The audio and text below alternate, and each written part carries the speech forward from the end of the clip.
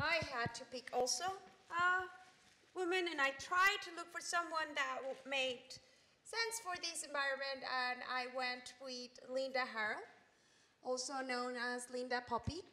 And she was part of the LabVIEW 1.0 uh, R&D team. And that, when LabVIEW 1.0 came out, they had this about picture that had the pictures of everyone in the team. And no, Brian was not there because he came in at 1.2, right? So you can see her, she's like on, the, on, the, on that picture, that was on the 25th anniversary, and she's the second from left to right, and that's her position also on the pictures there. She's the founder for G Systems, which is a big alliance partner in uh, Dallas, Texas. She founded that in 1990, and she's also the CEO for that company. She has 30 years of experience in test and measurement industry. She's an expert in design and development, so she actually knows uh, engineering and does engineering, and she knows one or two things about managing. So she has led G Systems from a software consulting firm to a full service integration company. And if you want to learn more about why we are doing this crazy thing about um, our giants are female, I put that bit.ly. That will take you directly to the article that I wrote about this idea of talking about female um, successful women in engineering. All right, so what's the presentation? So um, the title that I had submitted was How do I get started with my DQMH project? I changed it a little bit to techniques for starting your DQMH-based project. Uh, I added to the slide the DQMH framework badge there, uh, and I have some learning badges now. So if you go to ni.com, I think it's a slash badges, uh, Nancy, you can, you can take several badges. Now the idea badges are not only to test how well you know a subject, but also a way to get you into investigating more about a subject. So if you don't pass the DQMH uh, batch at first, it, it is to encourage you to go and learn a little bit more. So even some of the DQMH experts that I know had to go and do it a couple of times. okay. So this is, if you don't know about uh, Delacor, Delacor is a small consulting firm that I founded. It's uh, based in Austin, Texas. We help teams with software engineering, process optimization, best practices training, implementation, software architecture, design and implementation. We also do hardware design consulting. We have customers worldwide, even though we're pretty small. We actually have customers in Australia, in different places in Europe, in Japan. Um, we also have a couple of products. There's the DQMH that you've heard already mentioned a couple of times this morning. Uh, we also did a lock-in amplifier for MyRIO that's more for uh, students. And we have these other products that we don't have on the tools network, but we do sell to our customers directly. And, that, and they are based on the DQMH. We have a Delacor test sequencer. There's a version that uses the PTP sequencer and a version that doesn't. And then there's the Delacor configuration manager and the software engineering uh, tools. All right. So by the time we are back home, because I didn't have time to upload everything, the content of this presentation will be at this address. So right now it's gonna not, not going to work, but it should work by next week. All right. Uh, so the tool, DQMH toolkit is free. If you want to learn more about videos about how to get started with DQMH, you can go to that bit.ly. The uh, documentation includes embedded videos, so as you go into the different sections, you can go to the videos. The newer version of DQMH 4.0 has on the block diagrams, there are purple boxes around that have links to videos that have to do with those sections of the code. And as we are uh, creating new versions, we're adding more videos too. All right, so what is DQMH? Well, DQMH stands for the Delacor Queue Message Handler, and most of you already know this joke. Woohoo! Um, it's accessible to NI support. So Richard was asking me if DQMH was officially supported by NI. The DQMH is based on the NI Queue Message Handler. So it is basic LabVIEW code. There's nothing, in, in the code that you create, there's nothing hidden, everything is open. So any applications engineer can uh, support it.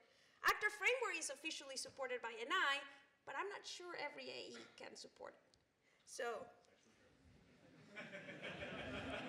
um, DQMH is accessible to certified LabVIEW developers. They shouldn't be, they should know what a queue is and what user events are. CLADs can contribute to a DQMH project. It works with TestStand, uses object-oriented programming, but does not require understanding it. It's, it's really curious to me that object-oriented programming was created to abstract code, and we're actually creating a framework that abstracts the abstracted code, so people that are scared about object-oriented programming don't have to deal with it um, supports multiple instances, and we have tons of tools that help you with uh, user events. So how many people here know about DQMH? Okay, how many people are using it? All right, so almost the entire room knows about DQMH and about a quarter of a room using it? All right. Okay, it, it won the LabVIEW Tools Network Product of the Year. And one thing that we launched at uh, NI Week is a team of DQMH trusted advisors. So we realized Delacor is a small consulting company. There are uh, other larger companies that want to get started with DQMH, and they're like, hey, I don't want to start with something, and then what happens if Delacor goes away? Or what happens if this small company cannot help us? So we are working, we're uh, partnering up with software engineering. Joerg is here somewhere. There is Joerg and Manu. Um, there's uh, System Automated Solutions, where is Sam is over there. Uh, Studio Bods with Matthias. And wiring software, they're in Australia, so they couldn't come. And Test System Solutions, they're based in New Jersey. Um, Hampel Software Engineers in Germany, right? Germany, uh, Denver, and Quebec in Canada. And the, the understanding here is as much as I think I could have a huge company, I really have no interest in managing a large company we really like this, the work that we do, working with really difficult problems, helping teams get on their way. They want to have larger companies, and they are all interested in doing a lot more than what they're doing right now. So we want to empower them, and if you want to get into DQMH, and one of the reasons that you didn't want to get into it was because it's supported by a small company in Austin, well, we're starting to grow that. Okay, so what is it that I plan to talk about. So we're going to talk about uh, how you plan a new DQMH-based project, how would you go about sharing DQMH modules, and how you build a DQMH-based application. And as usual, I have tons of material. And you already know, you know, it, it, used to be easy to present in these places because I didn't know anybody. And now that I'm seeing a bunch of familiar faces, that actually makes it more difficult to me. Um, and as you know, when I start um, getting nervous, I start talking faster. So I'm trying to do my best as to not speeding it up. But there's a video, so whenever they post it, you can slow it down somewhere at the bottom and pause me and everything. I think that's why we started with the videos for DQMH. It was a lot easier to pose me that way. All right, so let's start with planning a new DQMH-based project. Uh, how many of you are familiar with the continuous measurement and logging sample project that ships with LabVIEW? Okay, not many of you. So when you go to the getting started, go to create project, you normally just go for the blank project. Well, there's another option there that's called sample projects. And, uh, and there's one there that's called the NIQMH Continuous Measurement and Logging Project Template. Now, if all you're doing is a quick acquire, analyze, present type of application where you want to log the data to a file, all you need is this template. And really, if that's all you need, you can leave now. Um, go to the refreshments and stuff. If what you want is to reuse parts in another project, or you found difficult to split the NIQ message handler project, uh, is anybody using the Q message handler, just the plain National Instruments Q message handler project? Over there, okay. Do you, have you ever had any problems splitting it into different people? Yeah? All right, so if that's a problem you're having, so, so just like that, and I'm talking to the guy at the top right corner over there. Um, want to, if you want to learn more about DQMH or if you want to know how to get started with your DQMH project, then this presentation is for you.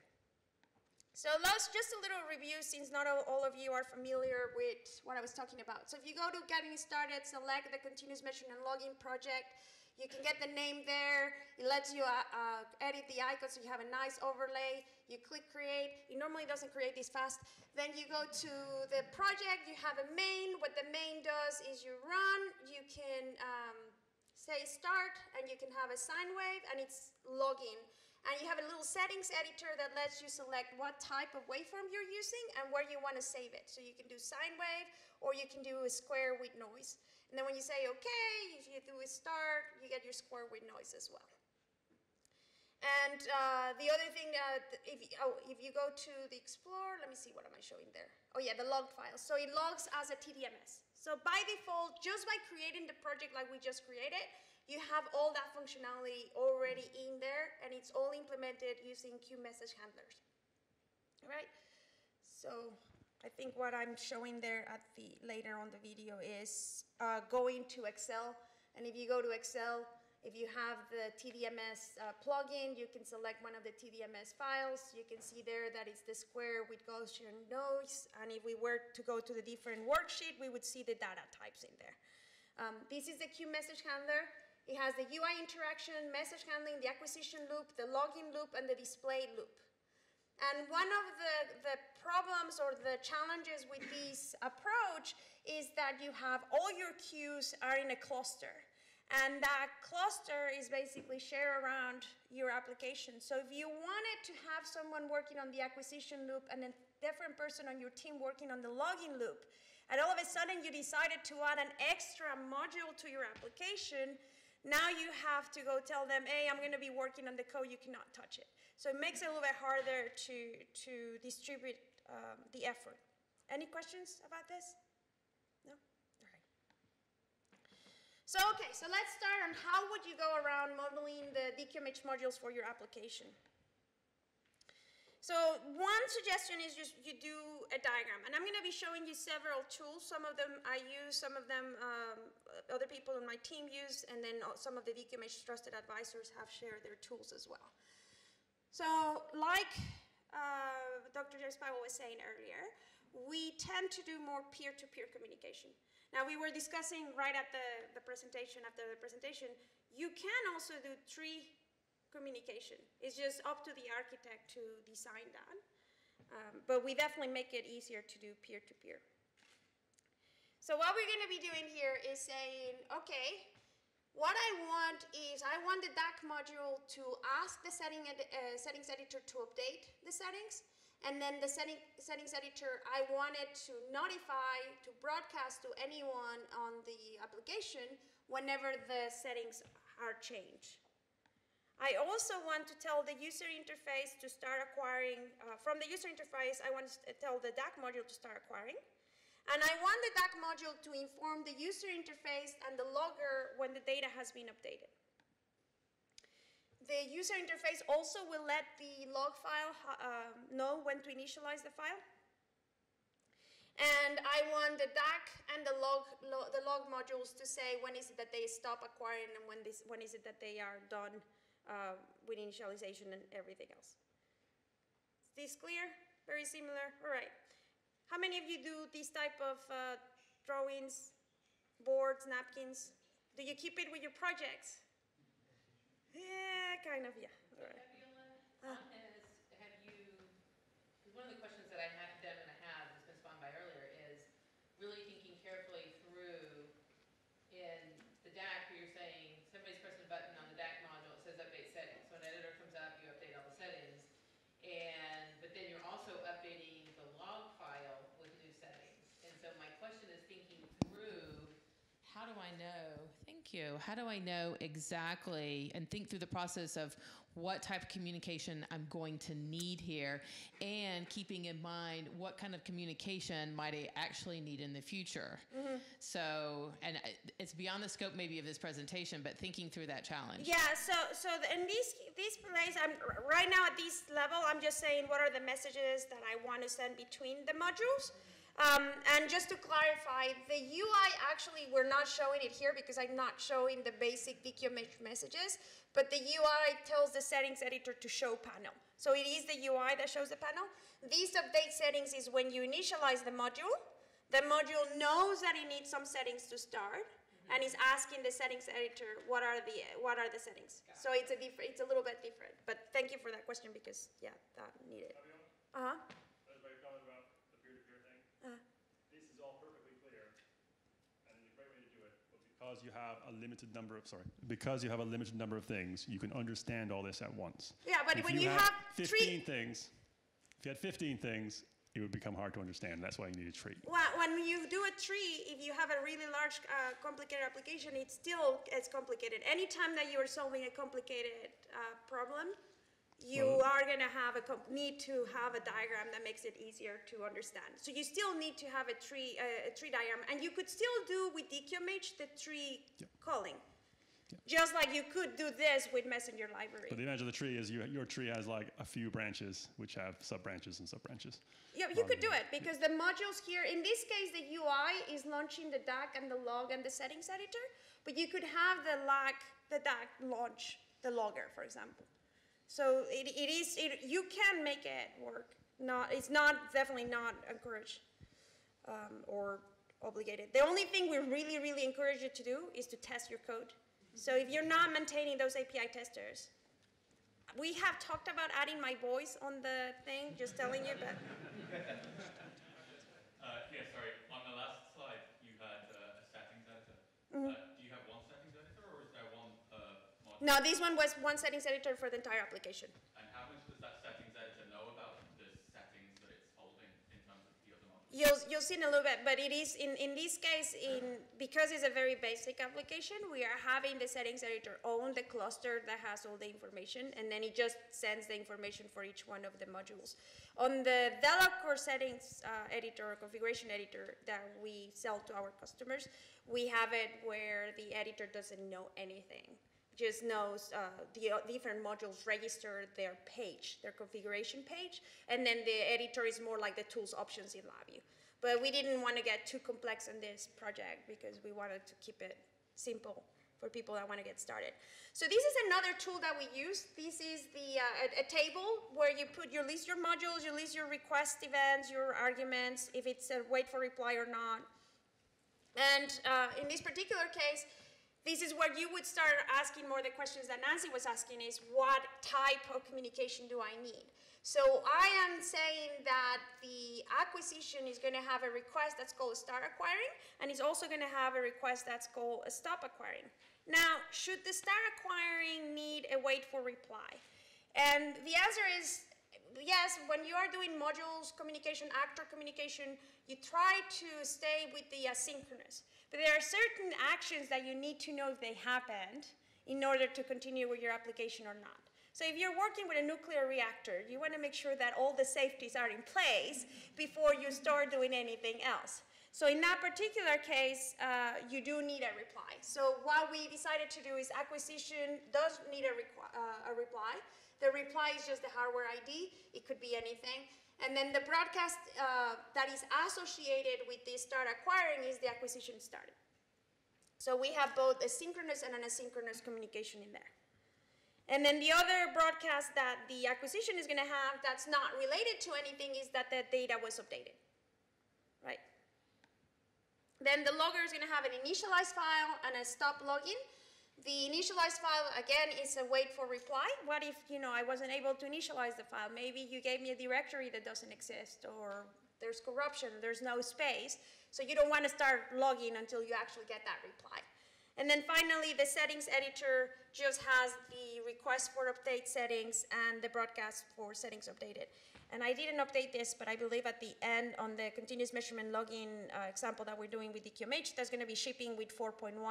We made the uh, update settings uh, request and wait for reply. All right, any questions about this table? No? Anybody does something like this? No? is again when you start getting a lot more messages uh, having other tools to discuss uh, uh, with your team can help I will ask one, so when you do a request and wait, Mm-hmm. do you tend to do a broadcast as well? Is so that's, eh, that's, that's an excellent question uh, do we tend to do broadcast as well when we do a request and wait for reply we didn't used to and then we realized that a lot of people especially the, the programmers that are working with TestStand test and is all request and wait for reply. And you might be using your API tester as a sniffer. So if you forget to put the broadcast, the sniffer is not telling you that things happened. So DQMH 4.1, which is about to be released in the next few weeks, uh, cha- we changed the round trip event. The round trip event used to only do request and broadcast. It now does a request and wait for reply and broadcast. And we modify the request and wait for reply to have an optional input that allows you to say whether you want to wait or not. So the round trip is actually now going to give you the three types of, uh, of events that we have in one sweep. So yes, the, the answer is, yeah, you should probably do that because others are waiting to know as well, are wanting to know as well. Um, sequence diagrams. So this is, a lot of people think about UML as only being class diagrams, but sequence diagrams are another type of uh, UML diagrams and allow you to look at the flow of actions. So we can say, for example, the UI is saying start module. It tells the settings editor to start. The settings editor then says, okay, I did init. Then the UI tells the acquisition module to start. The acquisition module says, I, I started. Then the UI tells the logger to start. The logger says, I started. And then here is where it's the part of the settings, um, Nancy, where the acquisition is telling the settings editor update settings. And then the settings editor will rep reply with the settings updated for both the acquisition and the logger. I used uh, websequencediagrams.com to do this. Uh, there's a free and a paid version, and it's pretty cool because you can you can also make it look as a, nap, a back of a napkin drawing type of deal. Uh, so anyway, and this is an, uh, another view. So the, the first one was just kind of like, what's the sequence to initialize the sequence? This one shows more when I am acquiring, how does that look like? So I have the UI telling the start, uh, the logger to start logging. The, uh, the UI tells the acquisition to start acquiring. We get the broadcast with the acquisition started. And then the loop, which is going to be happening continuously, is just the data updated going in, in both directions there. Okay, so are there any improvements? Did you notice anything smelly? Would you do something different? Ah, you didn't know there was going to be a quiz. Okay, now everybody wake up. if you were at NI week, yeah, if you, if you were at NI week, you're not allowed to answer because I had already mentioned this. You didn't know you had to do your homework before coming. So here's the thing. We are telling the DAQ module to send the logger that the data updated. We also have a logger that only has two types of requests, the start logging and stop logging. Seems like we need to have something else with that logger, right? If you're a logger, you should be having a way of saying log this data. So there was something missing there. We also had a note on our sequence diagram that said that the UI needed to wait for the acquisition module to initialize before starting the logging module, because there was a dependency between those two modules. So we created a dependency that's not really necessary. The logger module requires the acquisition module to be running before the logger module starts. So it can send that request, so it can register to that, that updated uh, broadcast from the DAQ. What if I want the logger module for another application? That's not going to be logging from an acquisition module. It's going to be logging from, I don't know, maybe a simulated application. Um, so if you are planning on always using the DAQ, the DAQ module and your logger module together, then fine, it's okay to have circular dependencies or dependencies between each other. We do that on our configuration editor. We have a singleton that's the configuration editor framework. And then we have a clonable for our pages. And there are circular dependencies. Those two modules have always need to be together. But that's okay, because I will never use that page in another application. Does that make sense? Questions? All right, so what we're going to do is instead of having a data updated, which was a broadcast from the DAQ that required the logger module to be registered to listen from the data acquisition module, we're going to have instead a log data request. That means that now our logger seems like a more complete module. Its, its public API has initialize file, stop logging, and log data. That makes more sense. If I'm doing a logger, it should have a public API function to let it know that it needs to be logging data. Make sense? All right. So this is, uh, this is what I tell when, when we are doing architectural reviews. I tell people, you need to, to see if it works in the spoken language when you're describing your models, it's going to be a lot easier to implement. If you're having trouble understanding on the spoken language from a model or from a table or from whatever tool you're using, it's going to be a pain to implement. So it doesn't have to be English, it can be French, whatever is it, but it's just a spoken language. All right, so the guys in Australia, wiring software, came up with this table. One thing that we mentioned in the documentation, but it gets lost uh, with everything else on the videos and everything else, is that it's a good idea to name your broadcast events on past tense. So graph updated. And use imperative, even though it's a request and you're really not giving an order, use imperative for the requested events. Update graph. These will help you also to like identify if you are using the right type of event type, uh, Nancy. The other thing that you need to do is identify circular dependencies. So it's okay if you plan to always use both the QMH module together, like we said before. So they came up with a little bit more complex table. This is what the table looks like. Do not get scared. We're going to go a little by little, by little uh, over it. So we have the user interface module is going to be sending the star acquiring, which is a request and wait for reply, to the acquisition module. And it's also going to be sending the stop acquiring, which is just a regular request, to the acquisition module. The acquisition module is going to be sending, it's going to have the uh, acquisition started broadcast, which is the red here, the data updated, and the acquisition stopped it. And the only module that's registered for that is the user interface. When we look at the um, combination of, the, of, of, both of them, or what's the communication that's going between the user interface and the acquisition module, we can see that there's no circular dependencies. The UI is always sending requests to the acquisition module, and the acquisition module is sending broadcasts that the UI happens to be registered for. If we had kind of like a checker box there, we would know that there's a circular dependency. And I hope I'm doing a good job of explaining there too. and then here's the logger, and, uh, and finally the settings editor. So again, it's a little bit more complex than the original table. They decided to do this because they were having trouble when they were doing their code reviews of making sure that everyone was on the same page. So when they had the different people working on different modules, this is how they, uh, they were able to, to be more successful on making sure that everybody understood what, the, what they were trying to do. And, and again, when we were doing this table, that uh, we were reviewing the table, it was obvious to me that part of the confusion was the whole past tense and imperative. So we now make it, I, I, guess we should put it there, a request, and then put in between parentheses, make sure that it's an imperative, and a broadcast make it um, a past tense. Questions?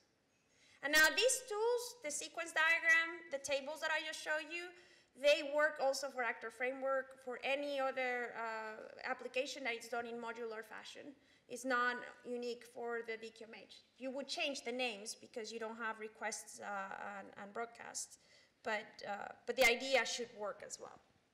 If you want to see a demo working from scratch on creating a version using DQMH of the continuous measurement and logging example, um, we did a presentation at NI Week, and that's the link for that. And it shows, if you go to that link, goes to a blog post, and it's going to show you step by step how we did that.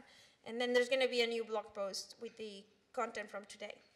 So if you go to new virtual folder and you add modules, and then you add a new virtual folder for testers, and then you go to Delacor, DQMH, add new DQMH module. This is the same thing that Richard showed. The only difference is that I created the, the modules and tester virtual folder.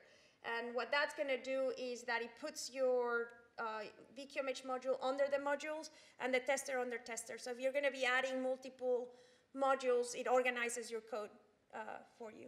So that's, that's a tidbit that even I sometimes forget that we have that there. so, but this, this video just shows like adding step by step. So, so you have to create the, the modules and the tester folders first, and then it just knows Yeah, if you have, if you already have a virtual folder on your project that's called modules and a virtual folder that's called testers, it will put them there. So on DQMH 4.1, that's coming out, like I said, in, if you are interested on the beta, let me know and I'll hook you up. I know people. Um, so the, uh, the 4.1 is gonna have the same thing where you're gonna go getting started, create projects, sample projects, and we're gonna have the continuous measurement and logging DQMH. And because we love initials, it's gonna be CML DQMH. So what's gonna happen is you're gonna cl- click on create project, and we put it so it will show up right underneath the continuous measurement and login. If you go to sample projects, you have the continuous measurement and login with the NIQMH, and then there's the CML DQMH, or you can just go to the developer and you'll see it there. And when you create it, it's basically going to create the, the, the project that we just discussed that has the UI, the acquisition, the logger, and the settings editor. And uh, there they are.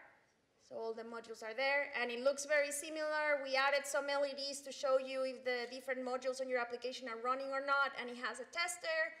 Um, it has everything has it has a build specification for an executable. So that's coming to a VIPM near you soon. All right, so the question that I get a lot is, uh, and uh, we also have a forum at the ni.com, and one of the questions that comes a lot is, how do I share my DQMH modules?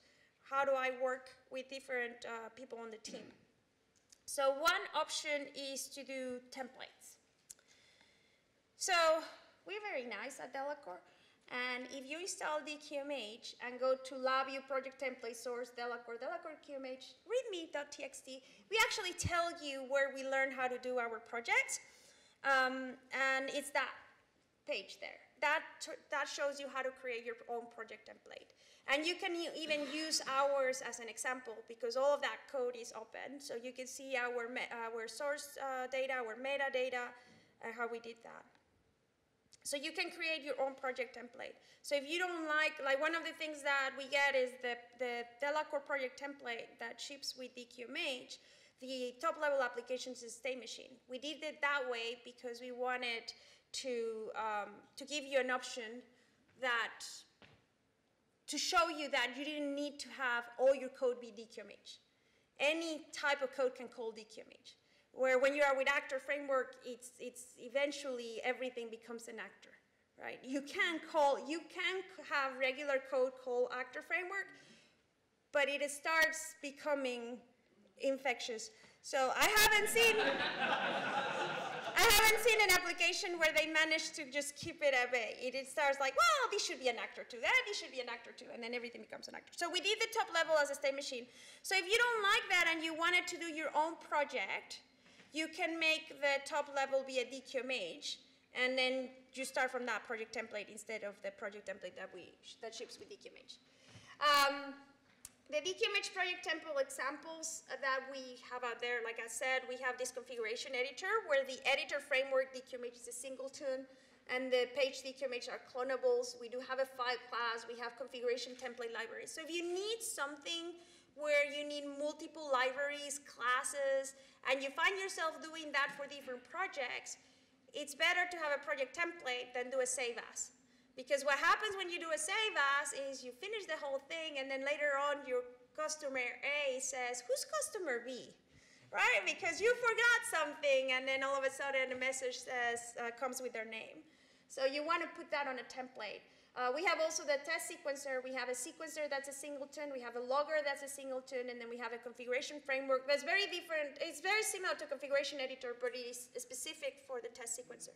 So anytime that we find a type of project that we're doing often, we create a project template. Anytime that we are uh, tempted to go and do a save as of a project that we did before, instead of doing the save as for the new project, we do the save as, clean up, generalize it, make it into a project template, and then use the project template for the next project.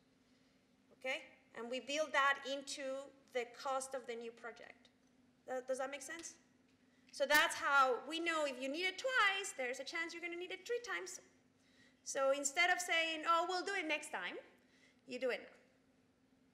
And I see a lot of nods, right? Yeah, how many of you have your list of, whenever I have time, we want to make this? Yeah.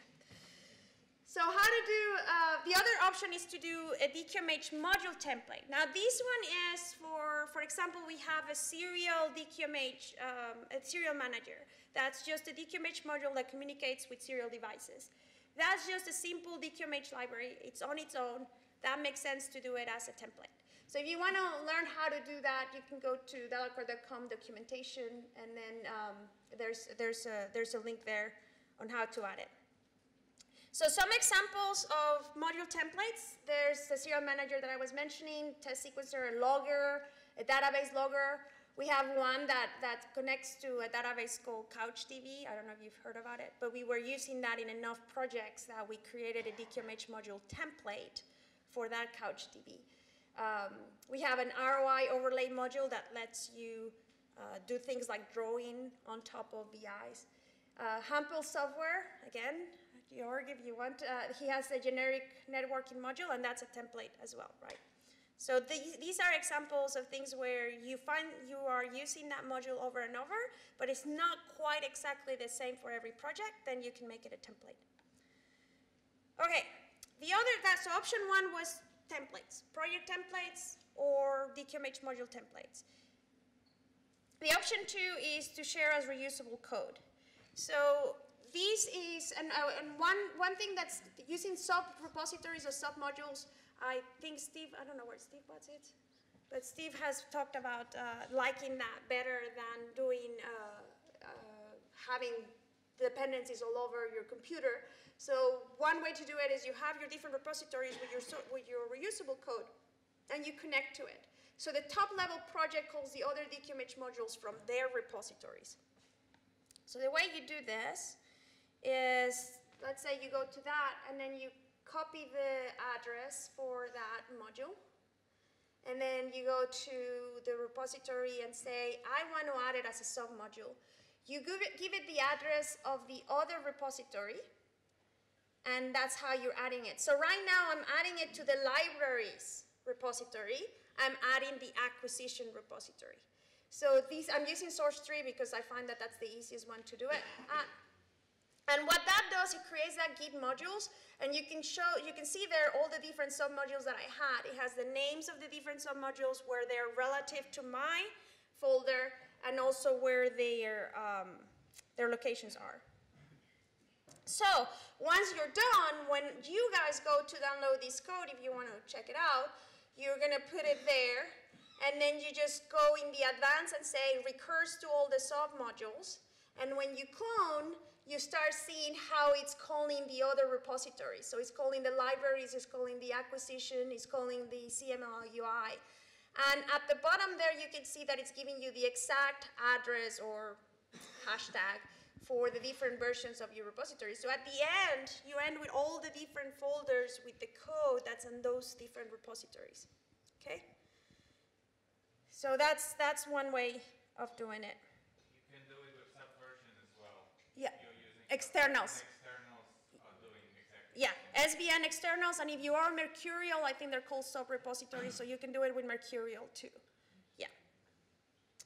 Um, So the other option, and I'm not gonna have time to do this uh, demo, is to package using VI Package Manager. So the, the, modules uh, from some modules are built into packages, and instead of calling the source code directly, you're calling the package. The reason I like this one better than the previous version is you have a control on releasing the code. You have to go through, I'm assuming that once you built the VI package, you already did your VI analyzer, you already did your unit testing, you did all those testing. I, I don't have a risk of getting into code that was committed and pushed to, the, to the, that repository that's not ready for me to use. And it's a little bit harder to establish these are the versions that we consider released. So that's, it can be addressed by having branches and tags and other, or other ways, but it, it requires now your team to come up with that. Go ahead, Joe. We find that we use submodules when we want to occasionally push back the code, mm-hmm. whereas when we are sure that this is something we release and we don't want it to get changed from the project we're using it in, mm-hmm. then we would not use it as a submodule, but rather copy the code there or release it. somewhere. So, okay, like bring in the microphone. Can you say that again? Sorry. So what I just said is that uh, we find that if we want to push back code from a project occasionally, then we would go with a submodule because it gives the opportunity of checking back the code. And if we're sure that it's just a reuse library that we do not want to be changed within the project, then we would not use the submodules. And then you would use packages. So if it's, yeah, if it's release code, then you would do packages, yeah. Um, the other option is to package your DQMH module as PPLs. And this is a plug for Matthias's presentation later today. He's going to be showing, he, he might not have time to show this, that's why it was in this presentation, but I don't have time to show it either. Um, so he, he has a good video, and we're going to be putting it on the blog post. Uh, if your, all of your DQMH modules are calling the same code, the DQMH uh, library code for the queue. So if you start having an application that has 50 modules, now you have 50 copies of that code each time you build your PPL. So what you want to say is exclude that and instead build the DQMH code that's common to everything in its own PPL. But it's the same idea is you, you have your versions of your different modules and each one of your modules is its own DQMH. A way to know what needs to be built into its own PPL or into its own package is just open a blank project, add one of your files, go to the dependencies. And there I can see that the settings editor depends on the CML shared. So the CML shared is going to be its own package or its own PPL. And then I need to go to the editor and tell it, call now the package or call now the PPL instead of calling the source code. Okay? So this is something that up there that you're using in IQMH that you have a hard time splitting work, it becomes a lot easier to split the work with DQMH because you can have everyone working on their own DQMH module and then packaging it as a package or as a PPL and sharing it with you. All right, and then uh, API testers. So I have been already telling you that I love API testers. Uh, Richard mentioned that that's a really a strong thing about DQMH. It really puts on your face that you need to test. If you are not convinced yet, there's another use for API testers, and it's to use them as launchers of your application. So what we have here, I'm, uh, no, I'm not going to have time for this one. But uh, the main thing is you have your, we are basically copying the, the, entire code that we have on the tester. You could probably do it with the tester directly, but in this case, we wanted just to show it separately. So we are copying the entire code from the API tester. And what we're doing is creating a top-level VI that's going to be launching our application. So for that, we need to make sure that we are actually starting the application at the beginning instead of waiting for the start module. And this is going to provide a, a built-in debugger for our executable. So uh, we also need to make sure that we stop the module, that we have some error debugging there. And we say instead of the tester, now we say that the main is the one that is uh, closing things. Because this is not going to be the top level application, we need to exit LabVIEW when we're done. And then we have some notes there that on the latest version, thanks to Matthias's feedback, we're probably going to change that. So that's why it's important to have beta testers before we put things out. Anyway, so when you build these, you build it as an executable. And what this means is when you run this application, you're going to have all the benefits of the API tester as your top level VI. And you are able to see all the logger back there. Then once you're ready and you're done debugging, you just tell the VI to be transparent to not show the front panel, and then you are good to go. You also need to make the VI to exit. Now, it's the top level application, it will always exit, so you have to do that. Right, so, and then that, all that's gonna do is that when you run it, it's no longer gonna show. Okay, so, and we left there notes for uh, people to put the run transparently at 100% and the tricks that everybody already knows about. So, okay. Yeah, this will go away with uh, Matthias's feedback. So Matthias' uh, feedback was we, are, we already have a placeholder on the top level for uh, arguments. So we're going to, instead of that, use the argument. So when you go to the command prompt, you run the application dash dash debug, and that shows you the tester. All right, so that's the uh, API tester second life. So like I said, the content of this application is going to be, the- this presentation is going to be there, and then DQMH 4.1 is coming out in the following weeks, and it's going to have the uh, continuous measurement and logging example as a project template. So you can see how to do an application, because the shipping example that we have with the temperature chamber is not so representative. It's good to show how to use the QMH by calling it by other code or we test them, but not so much as to how it works in a larger application. Thank you.